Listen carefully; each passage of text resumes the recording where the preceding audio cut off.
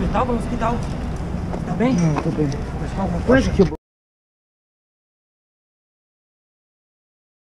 Quebrou o dedo ali, ó. Quer hospital? Vamos hospital? Rapidão. Vamos colocar o hospital? Quebrou o dedo. Vamos pro hospital? Vamos pro hospital?